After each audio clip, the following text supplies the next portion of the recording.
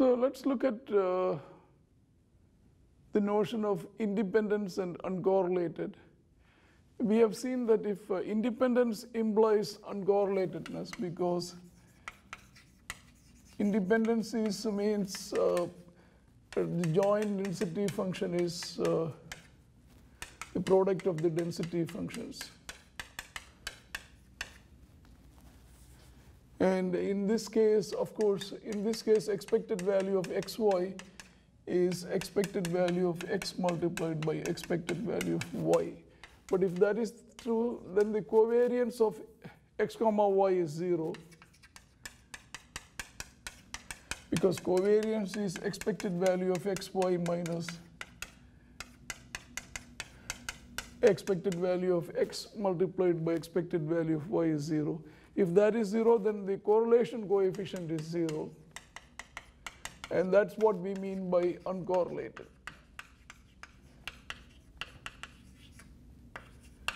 So if two random variables are independent, they are uncorrelated. What is, uh, so I'm not, I'm going to show that the opposite, the converse is not true. So let's look at this example.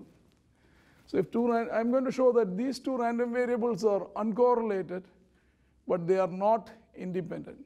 So first let's find out the density function of x. So we have to find out, so the joint density function is a constant over this triangular region. Triangle area is 1, so that's good.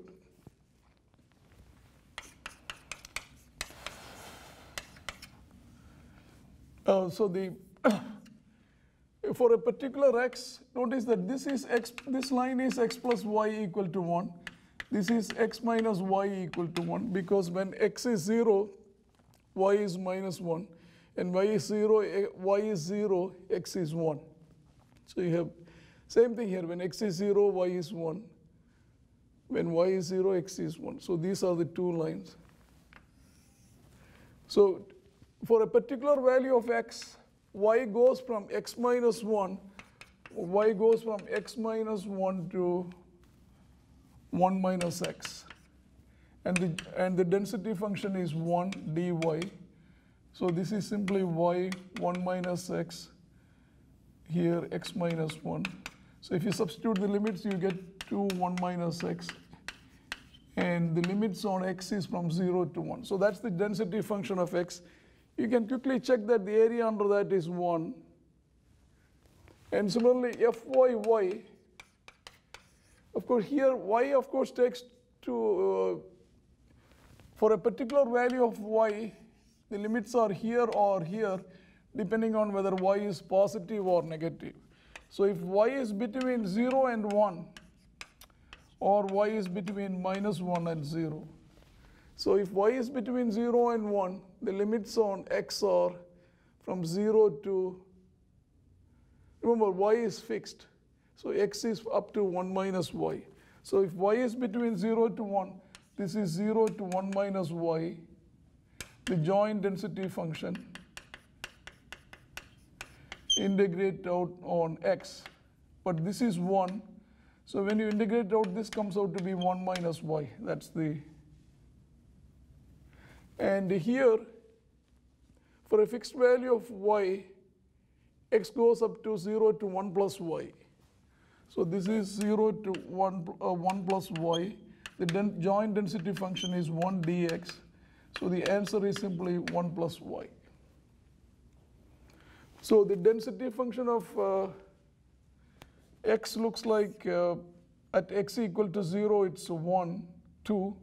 At x equal to, so the density function goes like, this is the density function of x.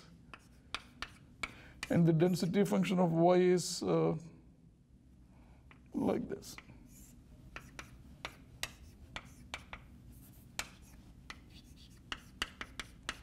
And clearly you can see that if you take the product of this and uh, uh, this, you don't get this. So uh, you, get, you are not going to get a constant. So the product is 2 multiplied by 1 minus x multiplied by 1 minus y.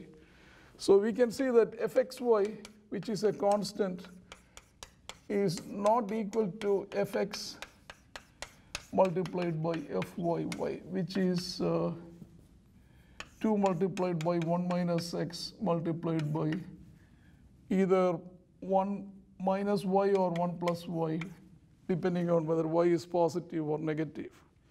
So bottom line is here x and y are not independent.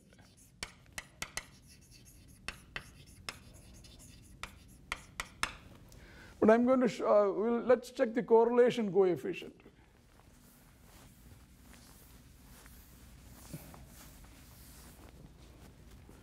So covariance of x comma y. So the correlation coefficient is rho xy is covariance of x comma y divided by sigma x sigma y. So this is expected value of xy minus mu x mu y over sigma x sigma y. So in this case, I can see that expected value of y is 0 because, so let's do expected value of y. This is y fyy dy. But fy has two, so in the region from minus 1 to 1, the density function is uh, 1 plus y dy. And in the region 0 to 1, the density function is uh, here. From minus 1 to 1, it is 1 plus y. 0 to 1, it is 1 minus y dy. So if I do a, this is minus 1 to 0. From minus 1 to 0, it is 1 plus y. Right, so if you want, you can write one more step here. fyy and fyy. So the, the density function, minus 1 to 0, the density function is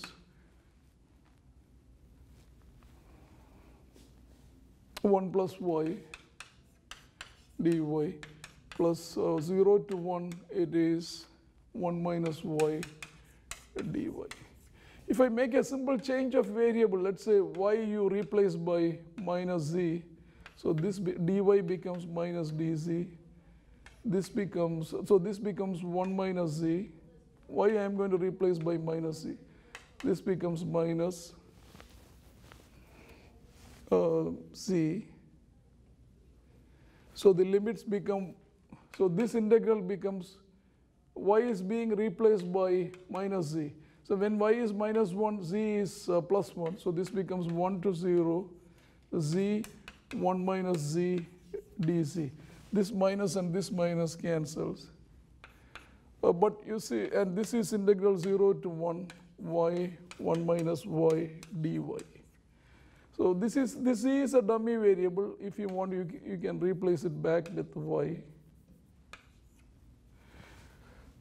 but notice that this integral is, these two integrals are identical.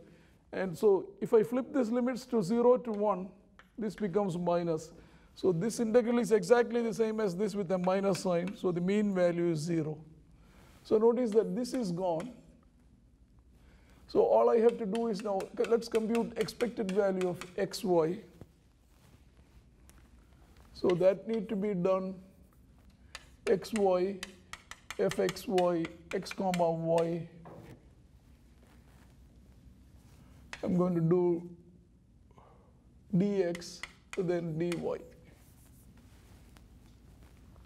So double integral xy, the density function is 1.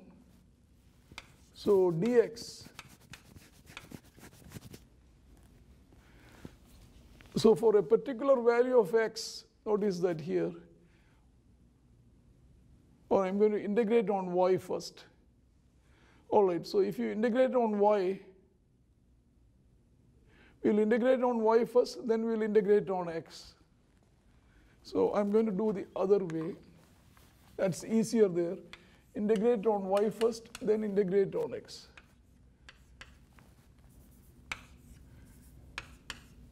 So x is easy. x goes from 0 to 1.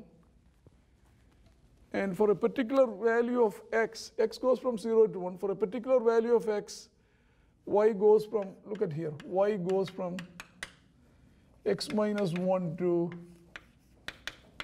1 minus x. So y goes from x minus 1 to 1 minus x. So let's integrate that 0 to 1. This is x. And uh, this, uh, so this integration is with respect to y. So x goes outside. y goes from x minus 1 to 1 minus x, y dy. And then we'll do dx. But this integral, so this is integral 0 to 1 x. This is y squared by 2 uh, x minus 1 to 1 minus x. So top limit minus bottom limit squared, both limits uh, squared are identical. Whole quantity is 0.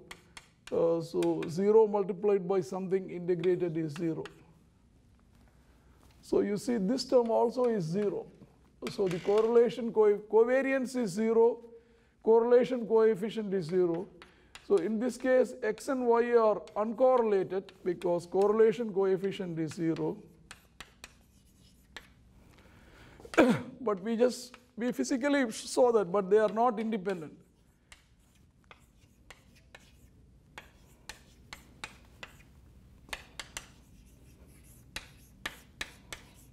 Or rather dependent.